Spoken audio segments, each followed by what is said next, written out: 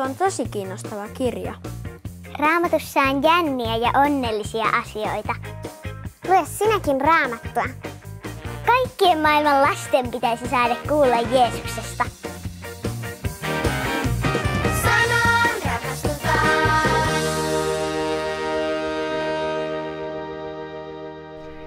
Heippa!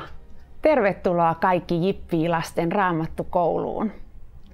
Raamatussa kerrotaan monista lapsista ja nuorista, joita Jumala käytti työssään. Tuleeko sinulle heti mieleen joku sellainen?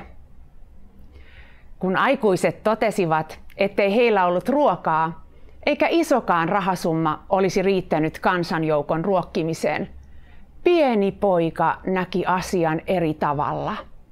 Hänellä oli ruokaa. Kun hän antoi pienet eväänsä Jeesukselle, sen sijaan että olisi syönyt ne itse, Jeesus siunasi leivät ja kalat. Kaikille riitti ja jäi ylikin. Opetuslapset, jotka olivat todenneet, ettei ruokaa ollut, saivat kerätä monta korillista ruokaa, jota kansanjoukko ei ollut jaksanut syödä. Entäpä Samuel? Raamattu kertoo, että Jumala puhui Samuel pojalle aikana, jolloin Jumalan puhetta harvoin kuultiin. Samuel oppi tuntemaan Jumalan äänen. Jumala antoi hänelle profeetan tehtävän. Aikuisena Samuel voiteli Daavidin kuninkaaksi. David.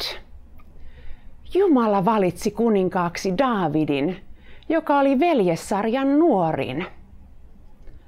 Paimen poikana hän oppi linkoamaan kiviä puolustaessaan isänsä lampaita. Hän tappoi karhun omin käsin. Hän oppi luottamaan Jumalaan.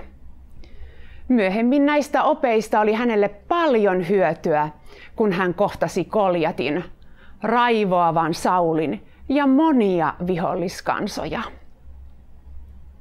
Entäpä Mooses, Joosef, Daniel ystävineen ja sotapäällikkö Naemanin palvelustyttö? He joutuivat eroon omasta perheestään.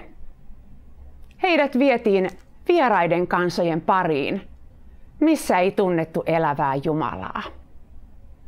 He säilyttivät uskonsa Jumalaan vaikeissakin olosuhteissa. He saivat kokea Jumalan huolenpitoa ja nähdä Jumalan ihmeitä. Heistä kasvoi uskollisia Jumalan palvelijoita. Muistatko Timoteuksen? Timoteuksen äiti ja isoäiti olivat uskovia.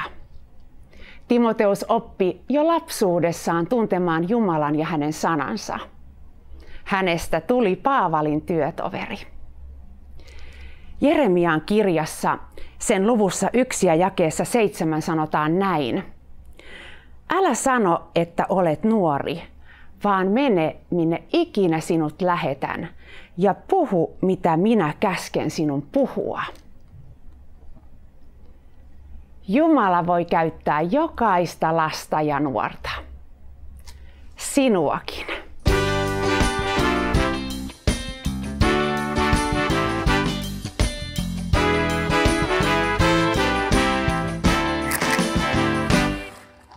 Voisin olla kuin pikkuinen Jeesuksen valo maailmassa.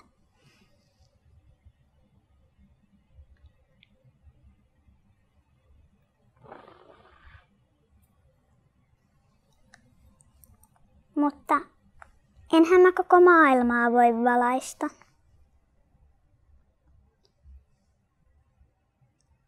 Mä voin jakaa tästä valoa muillekin.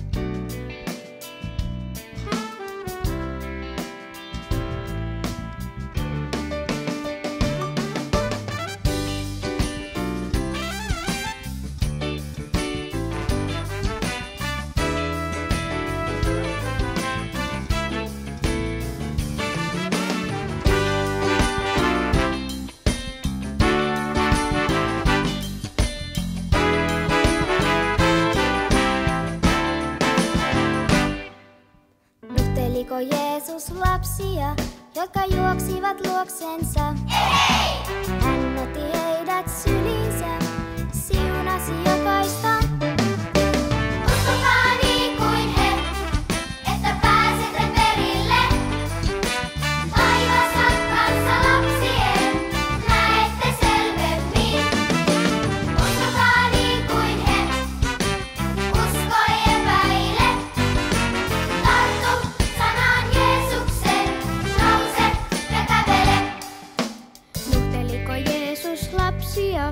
jotka huusivat Hosianna. Hei!